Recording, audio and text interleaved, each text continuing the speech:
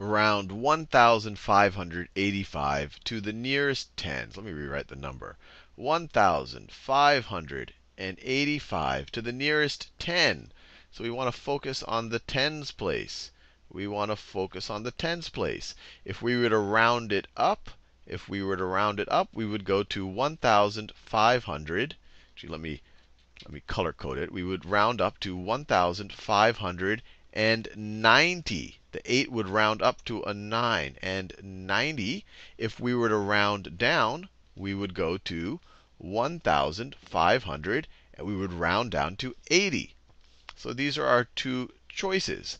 Now we've seen the last few examples. If the place to the right of it is 5 or greater, if it is 5 or greater, we round up.